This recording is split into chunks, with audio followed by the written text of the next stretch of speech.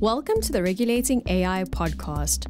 Join host Sanjay Puri as he explores the dynamic and developing world of artificial intelligence governance. Each episode features deep dives with global leaders at the forefront of regulating AI responsibly, tackling the challenges using AI can bring about head on and enabling balance without hindering innovation. Welcome to the Regulating AI podcast, the podcast that is dedicated to bringing diverse global voices together to help build fair and equitable AI regulation. I'm your host, Sanjay Puri, and today we have a truly fascinating guest joining us. We have Jaap van Etten, a diplomat turned entrepreneur with over a decade of experience in China, working at the Dutch Embassy in Beijing and the consulate in Shanghai.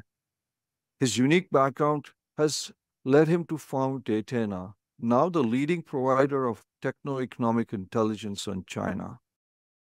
Yeah, it's such a pleasure to welcome you to our podcast. Welcome to the show. Sanjay, it's a pleasure to be here in your podcast. Looking forward to today's conversation. Wonderful. Yeah, uh, for our global audience, can you tell them about your journey from, you know, you were a diplomat and now you are a tech entrepreneur. What inspired this transition? Um, actually, a struggle that I have uh, and had in my own work uh, to just not being able to grasp uh, the growth of China uh, with uh, just manual labor, um, and seeing that China's innovation policy uh, wasn't only having benefits for the West, but actually also had a potential negative um, outcomes. Okay. So that kind of led you to say, hey, uh, I really need to do something. Um, so you said it had some negative outcomes for the West. Um, can you uh, explain your company Datenna's approach to open source intelligence and how AI plays a role in that work? And explain what is open source intelligence for our audience who might not know what that is. I'll start with the uh, with the latter. Um, so what is open source intelligence? Um, this relates back to your, your first question.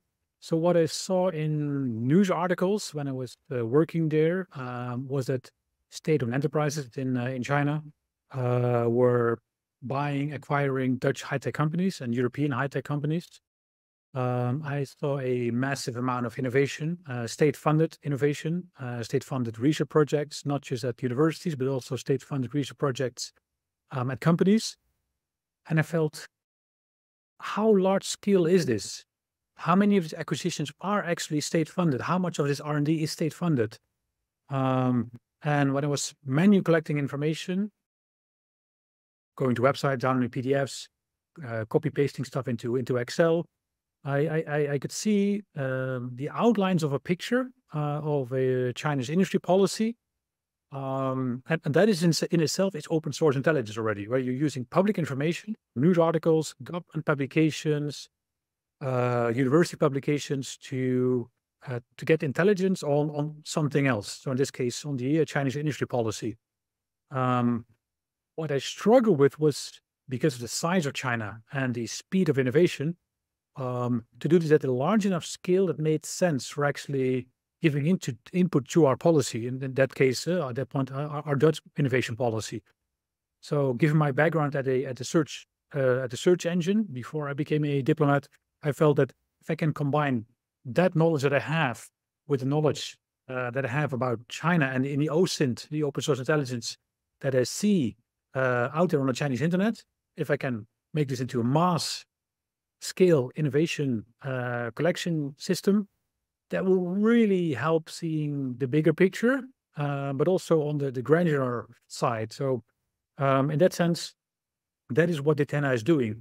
It is basically what I could do on my own. Uh, so manually collecting OSINT on Chinese industry policy, but then at a scale of maybe doing it 50 times larger because there's basically no limit to what you can do with a software system.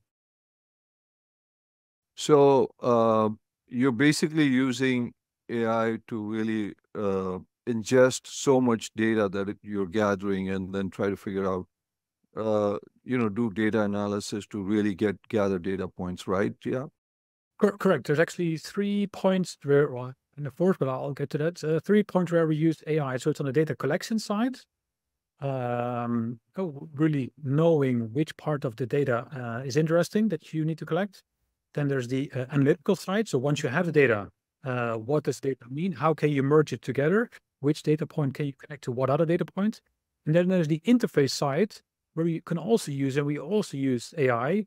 Um, so for instance, uh, with our uh, AI assistant, which is a, an LLM, where people can type in questions that they have when they are not used to our interface or have a question which our interface doesn't capture yet. So these are three pillars.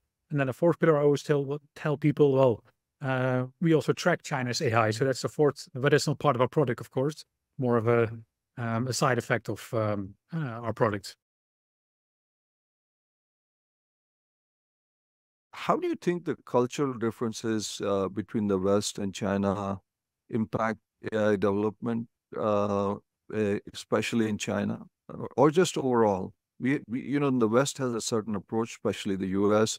Europe has a certain approach. What is China's approach to AI development?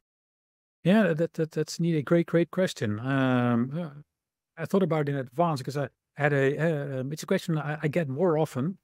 Um, what I saw in my time in China, um, and I saw in my time in Europe, and more recently in the past years, my time in the US, I really saw three different mindsets um, that you what you see when you meet both the common people uh, and the politicians, uh, because politicians often like a accumulation of what the general public does or or top down. But in China, it was very much more often about um, control um, it was already when I first arrived there, 2005, about how can we control uh, 3G? Um, how can we control uh, television? Uh, we were still a big thing, uh, just general like linear television. So innovation, how can we control innovation into the right flow? Uh, where here is in, and that, that still is still the same for, for AI, where in, in, in Europe, it's about um, how can we regulate AI to protect our citizens. Um, and in, in US, it's how can we foster uh, and stimulate uh, AI innovation? All three have different uh, pitfalls uh, and, uh, and, advantages. Um, so there's, I wouldn't consider there's one better than the other, uh, but it's very important to, to, to know that they are so distinct because it also means that companies who are active in Europe will initially create their whole business model, their mindset, their their, their company values, or even their ethical like uh, uh, uh, checklist to a European mindset. And then when they go to to China or to the US, they have to be very wary of that and and, and be aware of that. Um, so that's that's the high level differences I, I think exist. Yeah.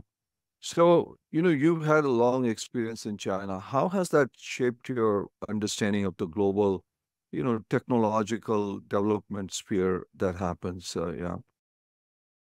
Um, what I experienced there was firsthand the real hunger for technology um, already, uh, and now we're talking more about it with the recent uh, export control uh, regulation being uh, a lot tighter than uh, than before. But already, already in in, in, in early as 2013, um, I really noted that that there was a a hunger for technology that China wanted to be um, technologically independent from the from the West for economic, uh, nationalistic, and military reasons. Um, and this, this this hunger for technology comes from the fact that in the past they have been well, sometimes they made their own mistakes in the past, where they didn't get on the bandwagon of new technology or the whole industrial revolution too late. Um, but they've been excluded from certain technologies more often in the past. So for them, it's really the build or buy decision that we, uh, for instance, in the Netherlands can make. If we can't build it, if, if it's economically not viable for us, or the best decision to to build something, we'll just buy it. Uh, but for China, that, that didn't work. Uh, and on top of that, the country is large enough that they could uh, consider like, let's just build everything in house. Then at least uh, we have the key to the technological kingdom. So that's a different mindset. Um, than than what we have in, in the West. It was all about optimization. Capitalism is about optimization of resources, um, and that yeah that doesn't go well if you um, try to mix that with with a focus of an industry where they say first thing, we want to have everything uh, um, in-house. Uh, second thing is we optimize. But but first, it's really about so that that's what I really experienced firsthand with the Chinese um, government decision making. Um, at the same time, I saw in the Chinese entrepreneurial mindset a lot more the US spirit um, to really uh, build fast, uh, break things, try hard. So th- that that was um, really inspiring actually to to see that in my time in China. So the entrepreneurs are like uh, US, you know, uh, take risks, build fast, but the government has some state controls. Yeah, uh, one question I had for you, and uh, this is something that's fascinated me, is China has been ahead and talked about being a leader in AI for a, a large period of time. From the top down, the government has talked about AI. Now in the US, it's since ChatGPT came out that we've now got an AI national AI policy. We're really pushing hard. We want to be the leaders, etc. Why is AI so important for China or for the Chinese government? Is there any specific? I mean, you talked a little bit about build versus buy. Is there some cultural history of being left behind, as you talked about? But what is about AI that is driving them? And obviously, there are some other technologies, but AI, e electric vehicles is something else. But uh, for our listeners, that would be uh, what's about AI? I, for me, when I um, lived in China, I've been to um, stem cell facilities. I've been to uh, nuclear power plants. I've been to uh, advanced material institutes, uh, big data centers. Um, to any kind of, and, and I've had CEOs and CTOs coming over from all these technologies, but also my own assessment was already more than 10 years ago. And I think I even wrote a LinkedIn post about it. Um, when are um, you going to have your um, Kasparov moments? Um, when are you going to experience that AI will outcompete with you? So in that sense, I think uh, the Chinese government just came to the same conclusion that AI is um, one of these like technologies that enable a lot of other technologies. This is enabling technology. Um, so there's many emerging technologies, but there's only like a, a handful of enabling emerging technologies. Um, I think the Chinese leadership is um, there's quite some um, um, meetings taking place in Beijing. Um, they're called like Fragrant Hills uh, meetings, where um, government is educated on new technology. So stem cells uh, and AI were already covered in the early 2000s there. So the, the leadership is, um, many of them have an engineering background, uh, Western educated in the past at least. Um, so they have a real understanding of technology. They know that they've been behind for a very long time. So they're always looking at, okay, um, history doesn't repeat, but it rhymes. So looking back at history, we see that new technological breakthroughs are what makes the winners and the losers. If we want to be the winner, we have to identify the new breakthrough technology. So that is what they did. They've identified that AI is going to be the new technology where winners and losers are going to be made. So we have to be the winner, then we have to be the best uh, at AI. Um, don't get me wrong, though. Uh, in the West, several people, I think it was already at the at, uh, Obama administration, um, in the um, the Office for Science and Technology, that wrote that AI was on the same level as nuclear technology. So it's not that we didn't know it. It's just that for some reason, action wasn't taken with it. Um, and, and that in, in, in China uh, was, was done much faster. Um, and I think that that comes from the Chinese entrepreneurial mindset in the, um, uh, with, the, with the entrepreneurs in combination with, with leadership that was very much in favor of like, okay, if you pitch something good on technology, we'll give you the money. Um, yeah, I think that that worked really well with them. Yeah, so there has been some element of visionary leadership also. We have to give that credit to the Chinese government that they have been thinking far ahead. Uh, it's a different approach.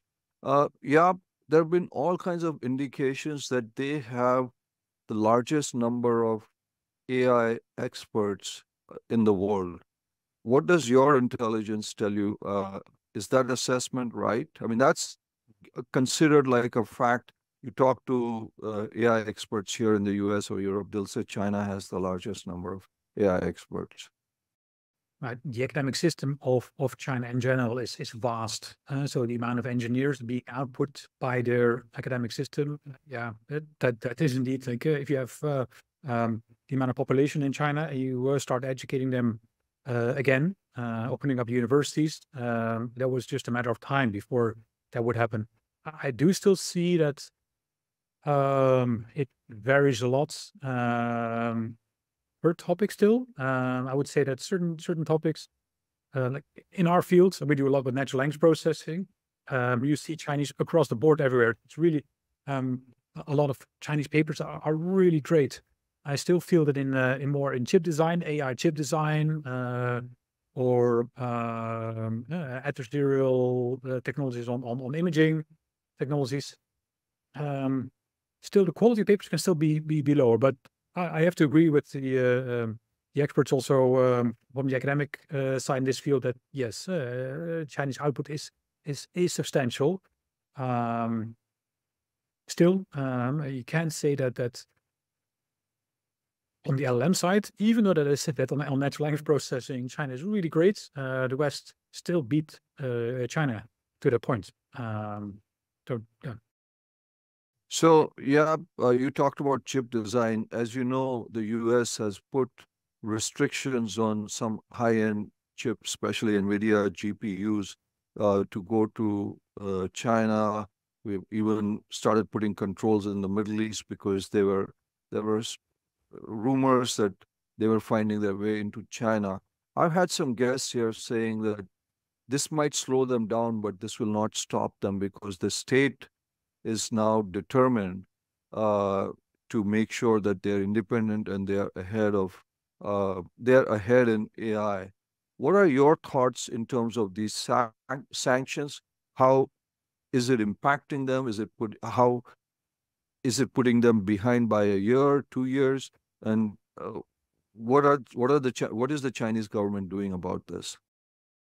It's it's, it's hard to put an exact number on it. Uh, perhaps customers that, that that use our data uh, um, uh, can actually can actually do that when they have when they can combine it with with with other information.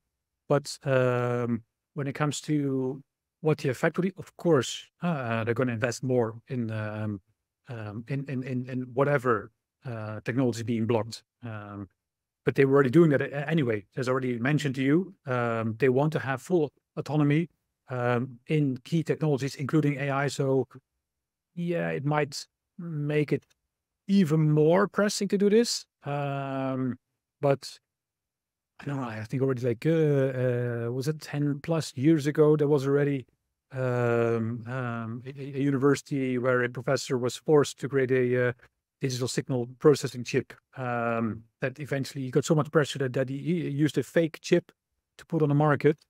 Um, um, and, and one of his PhD students actually uh, uh, was a whistleblower in China that, that time saying like, no, I, we were just buying chips in Japan and then rebranding them as a breakthrough. Um, and I can really understand uh, how, how a professor comes to it. Like that's just like there's so much pressure to to do to to move forward. Um, but uh, certain things take take time, um, and it's a lot easier to make progress in software. Um, so in, in just pure software AI, uh, but when it comes to uh, to chip design, where uh, you have to have what the Germans call like a finger Fingerspitzengefühl, like you have to know what you're doing. Often it's it's you have uh, have to have it in your fingers. Uh, so it's it's it's an whole ecosystem. Um, just imagine that. I don't think that that the US or uh, Japan willingly gave uh, the company uh, ASML a monopoly. It's not that they didn't try to to to build their own lithography machines. Um, they're also really probably unhappy with the fact that uh, we have one supplier. Um, so they also really really tried, and they have access to the entire rest of the ecosystem, so that they can buy equipment from Japan, from Europe, um, and and they still can't manage to. Uh, but at the same time, um, I, I, do think that that uh, don't underestimate the out of the box thinking of the of the Chinese. So certain key elements they can come up with something different. Like if I were the Chinese, um, I would try to follow the West in one pathway, but also have enough um, uh, time, money available to try something completely different. Um, that would be my guess. Um, that would also be my guess, and I, I, think also honestly that's also what we're what we're seeing, what people should should expect. So, um, I think the amount of uh, unknown unknowns uh, is going to increase from uh, from China on this on this field. So the known unknowns will uh, increase, and you talked about ASML, uh, which is a key player, and there are now I think they had put some restrictions also on uh, selling some of their equipment into China. Uh, yeah, in your experience, what are some common misconceptions about China's technical uh, capabilities and intentions that uh, people have? Um, one that is hopefully less common, but um, in the year in the early days, I ran to it often, and I'm still going to address it now it was that when I first started tracking Chinese innovation and people were mockingly telling me like, oh, then you must have an easy job because China can't innovate. Um, that still happened 10 years ago. Uh, like this, this quote is from, from like uh, 10 years ago uh, when I was just about to start, to start Datenna.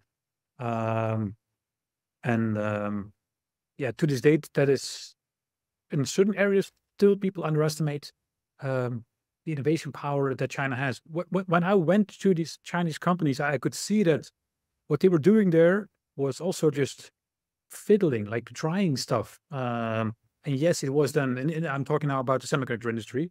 Um, and yes, they were trying things that that you felt like, okay, probably not going to work.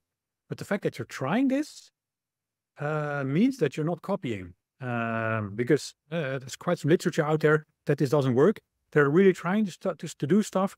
So that means that that that eventually uh, they will figure things out. Uh, so that that that that did came to the conclusion like, hey, this is the kind of mindset that, that people people need. Um, um, I think that uh, the pressure people are under uh, to reach targets. Um, talking about the professor that basically like, yeah, of course he didn't want to fake chip. He didn't want to do that. Uh, but just that pressure amounts to so much that you start um, uh, faking these uh, things. Um, and we also had that, that kind of things in the West as well, about publications. So I'm not trying to like talk down one uh, one nation overdoing but in, in pressuring this in, in the semiconductor industry is really what I what I saw there. Um, I yeah, the, the, size of the country, um, still the, the, size of the ecosystem, um, the differences. Also, if you go to one place, one province, one city, um, can be completely different than from another city. So if you go to uh, uh, Shenzhen, you will see certain type of innovation. And because the markets are so large there, um, it might be that for these kind of companies, it's worthwhile to innovate on this small component and not do something else. So you might think, oh, they're stupid because they're not innovating this this part. But for them to make money and just become a multimillionaire, um, fine. Um, so I, I think in, in, the, in the beginning, people said China only copies. Like, yeah, if you if you can become a millionaire with just copying, why would you make a risk to innovate it more, spending more money, right? If, uh, very hard to convince an investor. Say like, hey, uh, if you pay me this, I have 10x uh, return, and if you pay me a lot more, I might have 20x, um, but not sure. So th- I think that that's that's also a legacy that that copied in China. Um, yeah, that that's that's it's happening. It's still happening. It happened in the past, but um, get new data. Um, I would say like depending on what industry you are, like every month, every quarter, like do a deep dive again to reassess the the state of technology in China. Don't don't think about oh yeah, I went there last year uh, and that's that's it. So what you're saying is things are moving very very fast and they're they're not just uh, you know copying and cloning things; they're innovating things, and they're uh, make you know they're ready to uh, make mistakes and learn from them. Is what you're saying, and that's what our listeners should uh, keep in mind. One one one other thing, like uh, what I also often hear is that it, that China they they do this for um, uh, control and surveillance. And it's just often mentioned because it just yeah makes for a nice article in the newspapers. Um, um, but it's less sexy, but more uh, involvement. Like they also do this for economic growth and global uh, uh competitiveness. So uh, out innovate um, the the global competition. Um, I think that's also something that, people often overlook. Yeah, I mean, and I think uh, if you overlook that, I think you need to just look at TikTok and the AI algorithm that exists in TikTok and uh, look at the success they've had. And uh, now there are several other uh, examples that are uh, coming in. Just shifting gears a little bit, uh, yeah. What do you think? I mean, you are uh, is uh, basically in the business of helping, um, you know, some of the policy making decisions, policy decisions, etc. What do you think of the use of AI in policy making and policy decisions? Um, it's a uh, um, you have to look from from from from two sides. Uh, one side, I think, like it's it's it's great, amazing. Um, it's it part of what we what we do, and I, and I even think that um, we haven't even scratched the surface of our potential, uh, us as a company, and actually our uh, our clients when it comes to how much better uh, economic policy, foreign policy uh, can become if you have AI to support you uh, to see all the connections. Um, at the same time, um, you always have to ask as policymaker what's the data lineage? Uh, why am I making a decision? So that should be uh, key. Um, so uh, in our in, in our software, uh, uh, uh, if customers want to want to know each of the data points that they see, we have full data lineage. we even know the ethical framework, how the data got collected. Um, I think that is that is something that is key for for decision making because you'll start to trust these AI systems more and more and more. Trust is good, um, but being able to to check is is, is better. Um, and I think that that is that is that is key. Um, and it will be more and more almost like a, a must-have. If you have like just imagine our GDP growth from our average country, um, one percent can mean the difference between recession or or growth. Um, so it, it, it's about small details. If AI can help you to have like half percent or 1% better economic policy, okay, this is amazing for your country. Um, so we haven't seen the beginning of this of this this yet. Right. So what you're saying is it can really lead to some tremendous productivity, tremendous growth uh, per se. Uh, um, let's you know, uh, how do you think, uh, and we've had guests come here and talk about this, but do we, should we have AI legislation address concerns that are, you know, related to, you know, the AI-enabled autonomous weapons? And it, should there be international agreements or regulations for that? I mean, as you can see, when you look at current wars, there are several going on. Uh, it's heavily based on autonomous weapons, whether it's drones or other warfare. Um, there is no uh, consistency or some specific regulations around that. Uh, what are your thoughts on that? Yeah.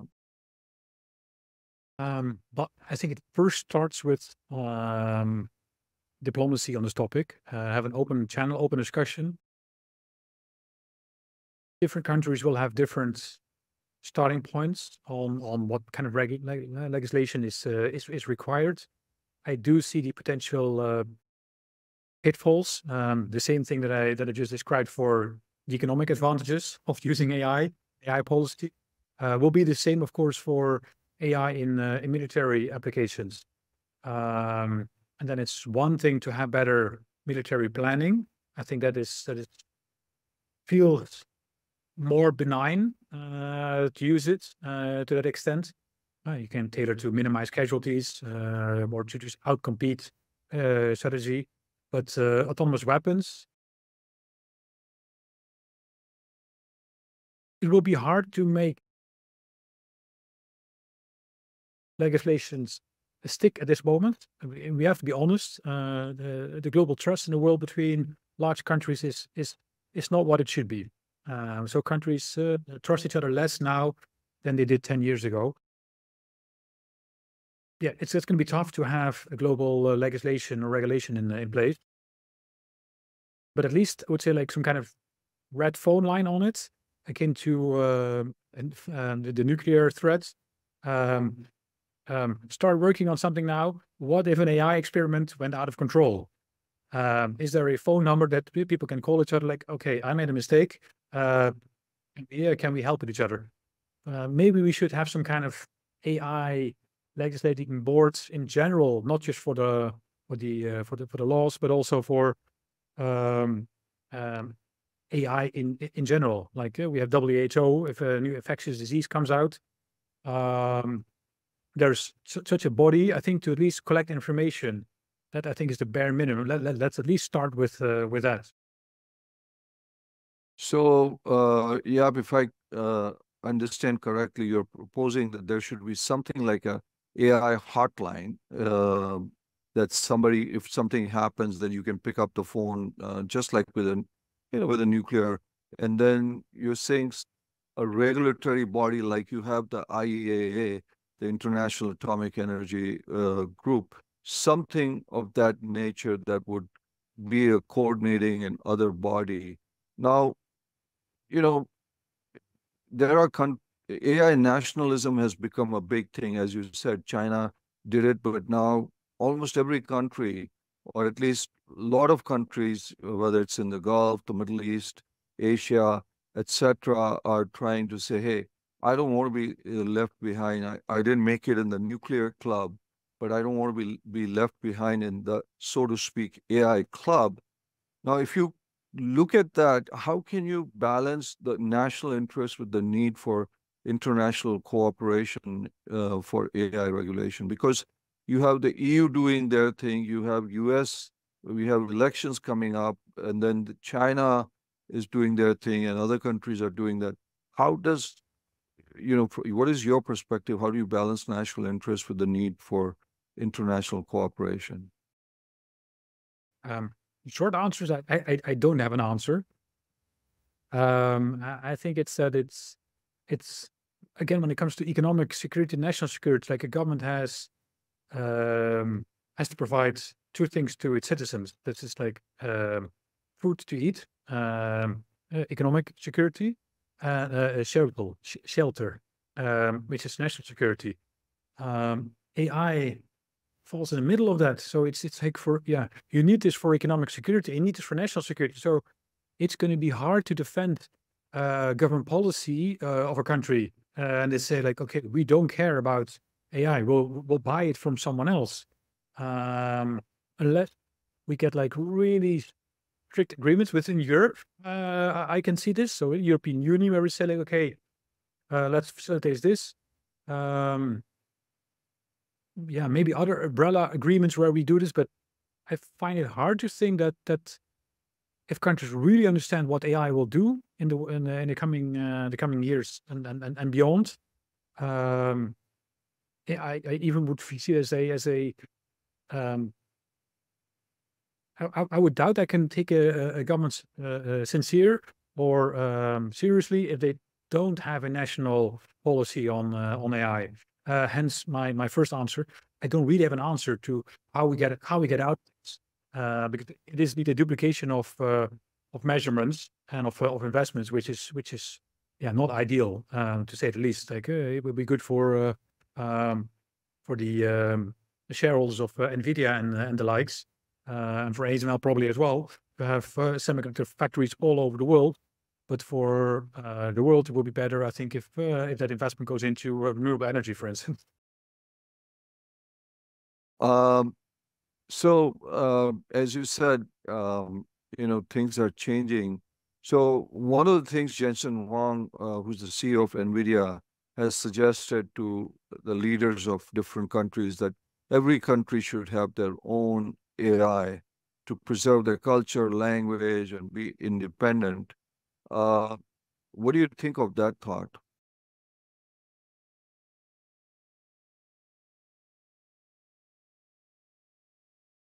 I think it um, more true than most people realize. Um, it is the influence that AI has uh, on your thoughts, um, your line of thinking. Um, I have never found anyone yet that overstated it to me. Um, everyone that, that that tries to overstate it is actually understating it. It is the let, us say this this my, my watch has has AI in the, in, in the near future, um, and I'm just talking to it and giving it like, hey, I read this new book on self improvement. Um, um, um, let me help stick to the uh, the rules. I just want to uh, to do this. That book is written by someone. Uh, I will start to change my thoughts on this, and this is active thought. But what if this? It's not an active thought, but this AI is built by someone else. Um, that can be very benign. Even even the fact that it's it's a US AI means that it will be mm-hmm. first in English. So people um, who are better at English will first do it in English. Then it's about uh, English books, which are more um, uh, online, or English text, which is more on the internet. Um, so if I look at uh, the Dutch language, as a as, as a kid, as a ten year old, I was um, very much a beta person. I like mathematics, and I was always complaining why are why are we learning other languages as well? Uh, this is time better spent on, um, on on math. Actually, I just want to learn English, and I can skip Dutch. Uh, then just have to learn one language, and then I can focus the rest of my my brain on on learning math, uh, physics. Um, but um, later, I also got to understand that the culture in itself is also a kind of like a generator of, of new ideas. You don't want to have a monoculture because that can lead uh, the humanity down the wrong path. Um, if you uh, we become like a, a n is one experiment, and that's already what some people say. Of course, the whole globe is an n in one experiment, but it's even accelerated if we don't foster the different cultures. Um, and I, I, I see this a lot in the Netherlands, where yeah, a city where we are in Eindhoven, um, uh, in our own company, I think half of the people are are, are um, not Dutch, um, and I see the, the city becoming more and more English. And um, fine. Actually, enjoy it because I've lived abroad so long that actually sometimes it's it's really enjoyable to just speak English and to be able to to mingle with other cultures. Um, that does mean that after a while uh, it becomes a a blend. Um, the blend can be good; it has advantages as well.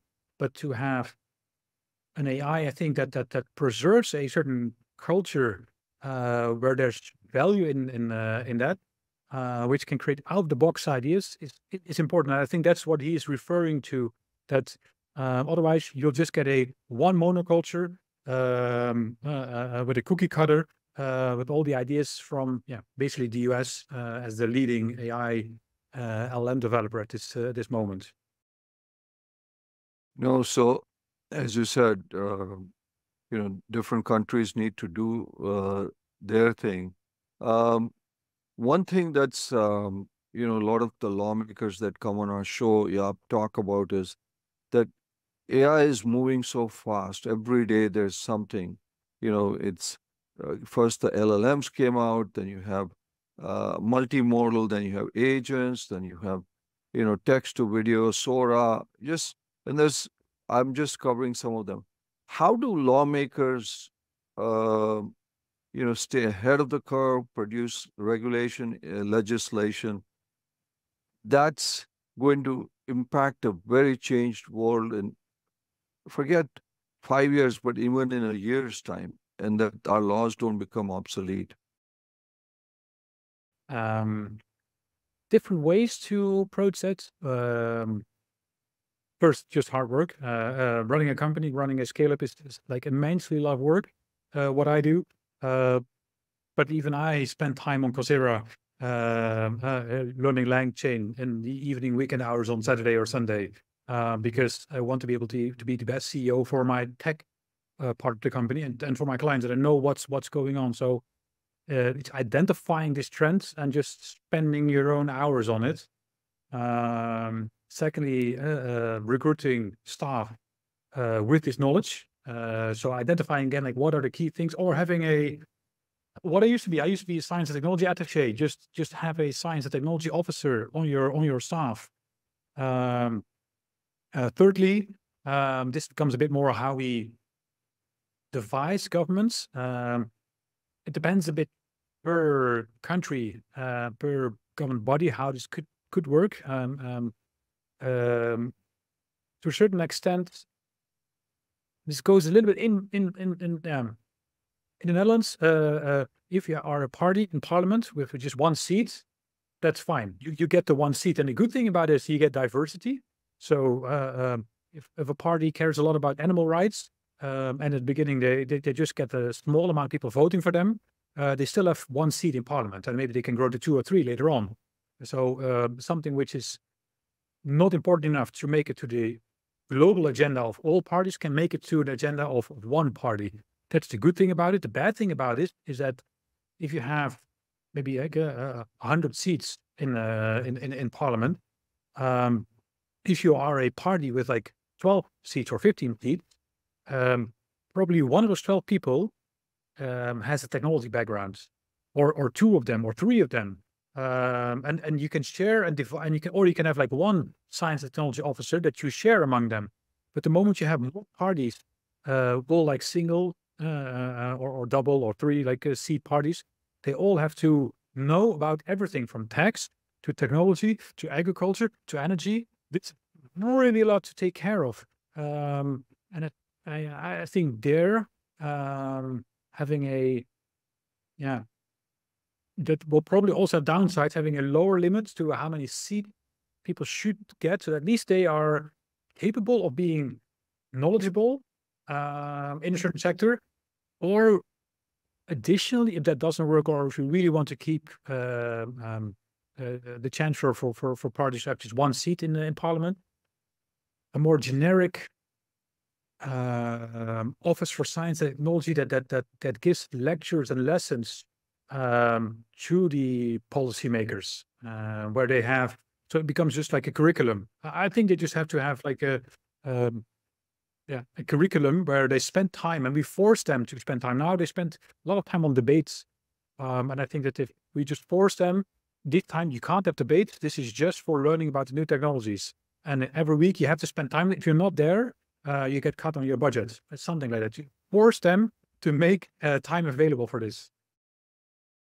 I think that's a good point. Is force them, or force them, or incentivize them to uh, make time. Um, is what you're saying. Um, yeah. Uh, you know, tell uh, our listeners what lessons can be learned from China's rapid technological development that might inform global AI regulation.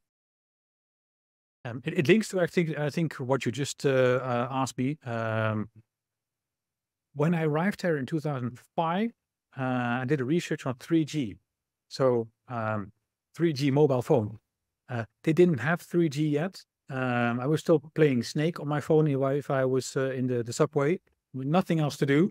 Um, and um, they waited uh, several years to introduce 3G.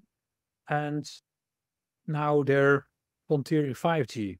Um, in, in, in 10 years' time, I had to ring the alarm bells uh, in 2014. Like, hey, um, this Chinese industry innovation policies really have a negative effects on, on ours.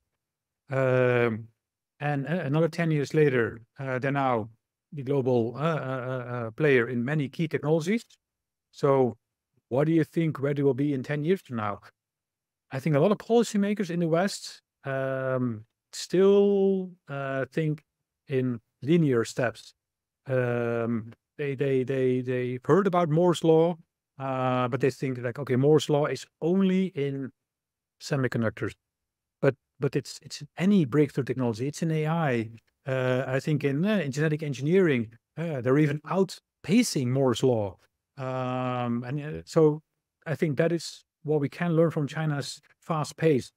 Uh, the world is malleable, changeable, if you're behind now, if you feel that you're behind, um, you can still catch up. It's it is it will go like this. Uh, you can be on top of uh, everything on one day, behind the next, and uh, end up as number one again uh, uh, weeks after. You know that makes a lot of sense. Um, yeah, uh, in terms of advancements in AI technology impacting national security concerns, what uh, should be some considerations that legislators should keep in mind when they're framing AI related legislation? Um, three things come to mind. I think uh, for we, we talk about national security with uh, um, influence operations, um, military capabilities, and um, uh, cybersecurity. I think will be the third one that I want to mention. I'll start with the uh, the, the, last one, cybersecurity. I think AI, um, AI hackers, um, and and then also AI defense. Uh, if you don't do that, um, it's it's it's pointless. Uh, when I was still in China, uh, the Chinese Great Firewall was um, no uh, um, uh, cumbersome um, at at, uh, at points uh, because yeah, you want to look at websites in the, in the West, and uh, sometimes they're not available. Um, um, so you start reading about uh, uh, technologies to circumvent them. And um, I think it was an Italian researcher at some point, like, uh, and this is already again like ten years ago, but this is like a public thing to talk about, so I can talk about it. They used genetic AI algorithms to find holes in the Chinese Great Firewall, and they could. Uh, they published a paper about it, and later on, the Chinese uh, plugged that hole. Um, uh, but it was interesting to see that that that already at that time, like a, an AI application, and since then I've seen AI applications that could find um, um, um, um, backdoors, uh, unintentional backdoors in, in open source code. So this is going to be um, a massive challenge. it might turn out that the world gets more secure, to become like AI against AI. Um, and that at some point, like uh, before we release new hardware, new, new, release new software, we have like a massive neural network to to find out if this is uh, rigid uh, code. But um, at least uh, short term, uh, really, um, cybersecurity is going to be a new uh, new game. Um, then the then the influence campaigns. you were talking about TikTok. Um, I, I, was talking about uh, how uh, every AI will be able to influence people without knowing it. Um, people uh, people think that a social network uh, was able to nudge people into a different direction. I'll think again if if you're if you have an AI whispering in your ear without even whispering it, it's just one.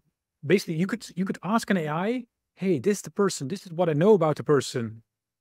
in 100 steps, how can you get this person from this opinion to that opinion? And it will like guide the person and like uh, not overdoing it, but giving one message, uh, one word difference, one this, one this, um, and and and also backing off a bit when the person is like responding differently. Um, it might even use impersonation uh, with that, so fake uh, deep fakes. Um, so I, I see there a, a a massive challenge uh, where a post-truth kind of like era uh, has started, and I don't think we even realize it yet. Um, and then the third one, uh, uh, which was the second one that I mentioned, the military capabilities. Um, I'm a big fan of um, um, sci-fi, um, and it's often an inspiration to get new ideas. Um, one thing that always struck me as weird uh, was with any kind of sci-fi uh, series you saw uh, in space, people were flying, and then when things really got tough, they were like, "Let's switch to manual now." And then they, uh, the good uh, person, uh, uh, got out of things and like, "Yay! Thanks to good flying." Like, what? No, this this is never going to happen. Like, it's like AI will will do things that you can that you have one million inputs, and you'll fly in ways. And um, why is even a person there? Because uh, who cares? Like 6G, as long as uh, the titanium can hold it, let's do this. Uh, so I, I, think that that that um, AI in, uh, in, in military capabilities, um, it's it's yeah, the sky uh, is not even the limit because um, yeah, space is also there. Um, so I think that that's, that's going to be a real uh, a real threat. No, that's a pretty comprehensive evaluation that you've done. Um, you know, even in the EU AI Act and even uh, with the conversations that uh, Senator Schumer had, the EU AI Act um, doesn't address um, the military and the intelligence uh, side, and nor does the US side. How do legislators balance the need for secrecy in national security operations uh, you know, with the public's right to understand and scrutinize the use of technologies, and especially as it relates to regulation. Uh, yeah. Yeah, that's that's a, that's a tough one. Like my, my first thought always still is, um, we wouldn't publish the blueprints of uh, a nuclear bomb online either, uh, nor will we publish uh, a DIY kit on how to make a new virus online. So it, it, it, my first glance would be, we don't know yet what the new nuclear bomb is. So what the new, so I, I feel that um, the government is in the right to to hold back a bit bit on on publish, uh, publishing what groundbreaking research is, and and then yeah, uh, first assessing themselves. What what does it mean? Uh, um, I, am hoping that at least like-minded countries have uh, some kind of board um, where they can discuss things, uh, or at least at a national level. Um, like in the Netherlands, we also have an oversight committee on um, our intelligence uh, agencies. Um, I think that that that should also happen. So, if uh, um, a new AI development is taking place that has potential military applications, or where the government is saying like we want to keep this a secret for for for a while, that there is a independent uh, auditory commission that looks at this decision. Um, um, so, but first, I think the government, I think they have a responsibility there to to do uh, think carefully about what what it means to uh, to open source that. Also taking into account that other parties might not do that. So then you're spending a lot of money um, into research and, and, and, and development. And then, um, hey, we found something. Is that immediately taken by someone else um, at zero or no cost? And they will do things with that, which yeah, you might have not want them to do. No, that makes a lot of sense. Um, yep. Um, yep. Uh, we have a, a big audience out there, legislators, think tanks, and others. Um, what would your advice be as they are all, you know, working to put together uh, regulation and legislation around AI around the world? What would your, with all the years of experience you have, is um, what what advice would you have for them?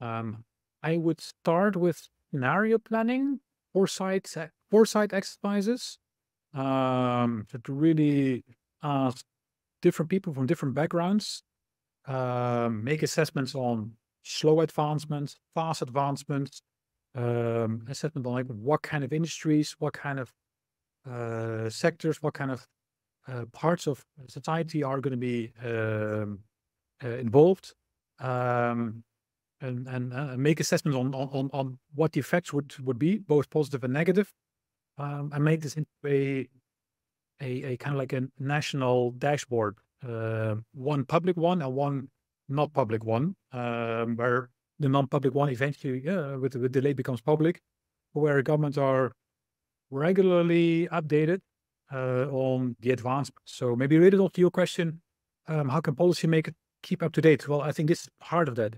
Um, these things can, it's it's it's like this this leverage if a new technology is being developed, if a, um, in our own business plan from 2013 14, we had AI assistants um, for our tool. So that the export control unit um, could just ask, what technology can I export to China? Or uh, if I export this technology to China, what are the risks? Or within this sector, who are my competitors and why?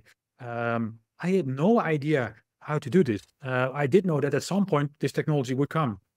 Um, still, if you asked me like a year and a half ago, I would have still said still quite a bit away before this is like uh, uh, uh ready for. And then, yeah, OpenAI launches uh, ChatGPT, um, and that overnight you have to uh, change your business plan. Um, so the government also needs to be in a position to do that. So that's like long-term planning, uh, making these foresight assessments. Um, but now things are going so fast, it has to become a dashboard for them. That this is it's it's really strategic thinking uh, mixed with the technical operational uh, uh, thinking. That makes a lot of sense. Uh, yeah. Um, in conclusion, um, there are two schools of thoughts, at least um, around the world that we should engage with China as far as AI safety regulations are concerned, or uh, we should not invite them uh, there. Now, I do know that when President Biden met uh, President Xi in California, AI uh, and AI safety was discussed, and it's going to be discussed again too. And we have a NATO summit coming up. But should they be uh, brought to uh, the discussion in terms of what we want to do is in terms of global framing of AI legislation. Uh, what are your thoughts on that? Without knowing, of course, all the details, um, what's going on in these kind of dialogues, uh, that's the uh, this this disclaimer there. Um, again, my first thought will be yes, do invite them. Um, it can be to smaller parts. That can also be the case if you really feel like, hey, we have to discuss something uh, which gives away too much about our technological capabilities um, that I can understand. But um, I think China would also understand, and they will complain, of course, about it that they won't be invited to everything. Um, but um, well, then you can just ignore that complaint and just continue with a, with a smaller group. But to not invite them, I think would be a uh, a, mistake uh, because um, if they make a mistake with AI safety, uh, it'll affect all of us. Like, uh, yeah, uh, so it, I think it's um, there's always yeah okay um, our communication and our mutual understanding and and our systems work is not great now. Uh, uh, we're we're uh, we're not in the same uh, situation that we were uh, 10, 15, 20 years ago. Um, that that that's but but I think we all hope to be in the same situation again, where we actually feel like, hey, uh, we have one world. So if we screw up, like in, in terms of energy, pollution, or AI, or nuclear threats, like, yes, there's a few people in the world out there where I sometimes doubt if they have the right understanding of, of, of this concept. Um, but at least um, um, um, um, I'm, I'm hoping most people in power have an understanding of this, that, that we have one world. So keep an open dialogue uh, agree to disagree on a few things. Um, but yeah, this is uh, the open dialogue will be my first, uh, first, first um, assessment. So keep an open dialogue. That's what Jaap uh, is suggesting. He's an expert. Jaap, towards the end, and like I said, I have so many other questions. We need to get you back here, but towards the end of the podcast, we try to ask some uh, a few questions in lightning round, uh, and you've got to, it's a pick one of the options, one of the two options we give you. Um, are you ready to take on uh, a few questions for us? Sure. Okay. So, uh, yeah, what would you prefer, national AI policies or international AI frameworks?